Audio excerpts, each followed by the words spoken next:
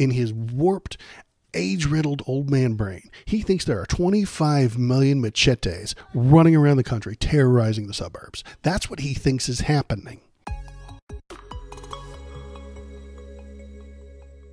I wanted to talk about immigration again because it's fun. So much fun. Here's what Donald Trump said recently. And what a shame that is, right? What a shame that is. And you see it how bad it's getting when you look at what's going on with the migrants attacking villages and cities all throughout the Midwest in particular right now, but it's all over. The Haitian migrants have moved on from eating cats, people. They are attacking cities and villages. You better build a moat, motherfucker. You better get some alligators, start burning that pitch, lower the portcullis, okay? They're coming for your village and your city. Where does he get this stuff? They're they're destroying the cities. What? Right? What a shame that is. And you see it how bad it's getting when you look at what's going on with the migrants attacking villages and cities all throughout the Midwest in particular right now, but it's all over. Attacking? There's nobody attacking anything. They live there. They work there. They eat there. That's where they live, dummy. Hello human it is me Canuch I need you to press the subscribe button, I have to feed my many AI babies. Trump promises immigrants he wants to deport will get serial numbers. Now, this is not a great headline. He thinks they already have serial numbers. Um, got my chisel ready for the next uh, slate of cities he gets uh, eaten by the migrants. Yeah, yeah, yeah. The, so they're eating uh, Springfield, Ohio right now, Shinsinto. Um, I think we can go ahead and add that one to the wall. We've already got uh, uh, what what's already on the wall. We've already got um, uh, BLM destroyed Minneapolis and Portland, and what was the other one? Philadelphia, yeah, there all those cities have ceased to exist because of BLM and stuff like that, and rioters. And Seattle's gone from the face of the map; it's, it just doesn't exist anymore because of the the uh, protesters there. Springfield, Ohio, next on the list. They ate the whole place. It's gone, ceased to exist. Doesn't doesn't exist anymore. So the the world is just a smaller place now. They're just wiping things off the map. Apparently, according to Donald Trump, they're just ceased to exist. Trump promises immigrants he wants to deport will get serial numbers. Now, I don't think I don't think this is a good headline because it's not what he said. He does he's not going to give them serial numbers. Donald Trump's immigration threats are getting even more disturbing. He's saying they already have serial numbers. Uh, immigrants are no longer welcome in Donald Trump's America. Instead, the Republican presidential nominee posited that under the, his potential second administration, he would round up and mass deport non-citizens based on their serial numbers. Trump argued that United States, which was founded by and historically been a nation of immigrants, shouldn't be a dumping ground for newcomers. But we're getting the criminals out, and going to do that fast, and we know who they are, and the local police know their names, and they know their serial numbers. They know everything about them. I don't believe him. He's he's not saying that they would get serial numbers. I think this is a bad headline, the New Republic, bad headline. But he's suggesting they already have serial numbers. That doesn't make any sense. You're right, Shinsinto. California's gone. The whole thing fell into the ocean. Ironically, California fell into the ocean, but it was the Atlantic Ocean. I don't know how it got there, but it, it, it fell into the, the, the wrong ocean, man. It's just nuts. On immigration, which you've mentioned, most people seem to think that you can tighten up the border. And for the untold millions who are here illegally that you referred to, you've talked about a mass deportation program. How is that practically possible? Because a lot of the millions of people have had children here who are American citizens. And don't you think the first time there is an image on television of a family tearfully being told to board a bus, that that whole program would end? That's right. If you take a young woman with two beautiful children and you put her on a bus and it ends up on the front page of every newspaper, it makes it a lot harder. So we're going to look at it very closely. Are you the way you phrase it is exactly right. You put one wrong person onto a bus or onto an airplane, and your radical left lunatics will try and make it sound like the worst thing that's ever happened. That's me. He's talking about me. I'm the radical left lunatic who's going to complain like it's the worst thing that ever happened.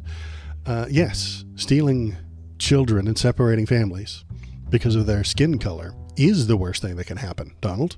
That's exactly uh, what uh, I would say. And I would claim that. Uh, yeah, we're, we're going to do it in secret. He's going to try. You can't move millions of people in secret, it won't function. Um, he claims that there are 25 million people here illegally.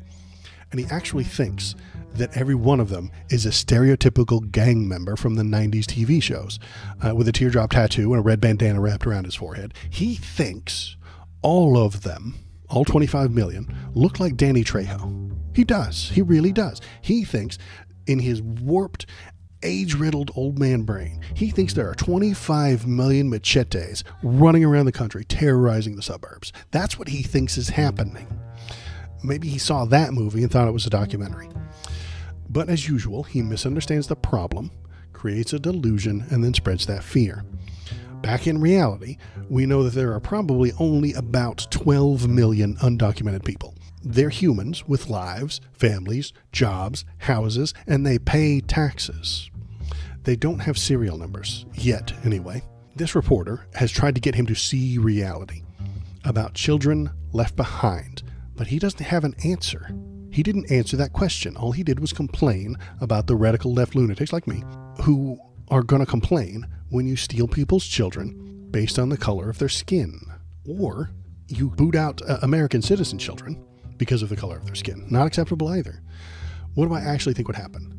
With no exaggerations, uh, let's say Trump wins, uh, I'm in the gulag, and he tries to enact this policy. It'll they'll start small. They really do. And I and I'm so I've, I've been thinking about the logistics. I've been trying to figure out how they would actually go about doing this.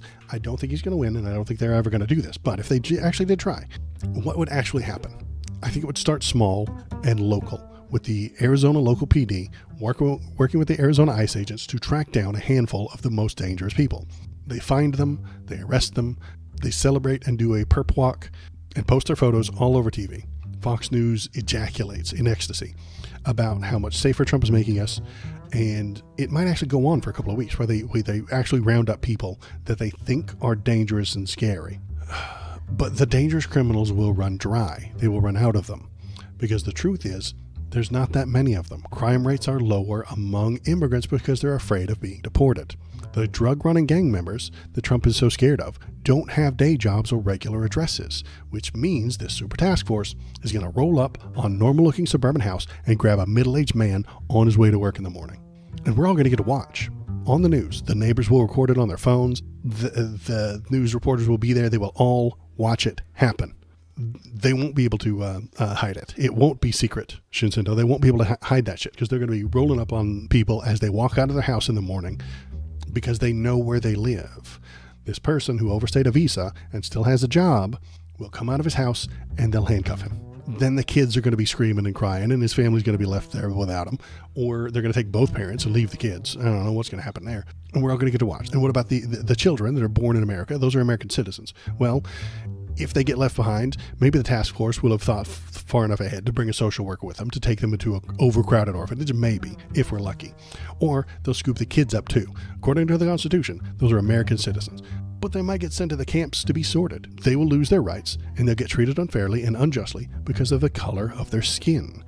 And I do think, realistically, that's where it stops. The first media photos of sad, crying children in their pajamas in the front lawn of a suburban house as their parents are taken away, the American public uproariously objects and demands that it stop. But Fox News won't let it stop. No, no, no, no, no. The right wing media will call them anchor babies and show you the first photos from a couple of weeks ago of their machete looking motherfuckers and the criminals to remind you that they still all have to go. Then the protests start. That's right. That's what comes next the protests.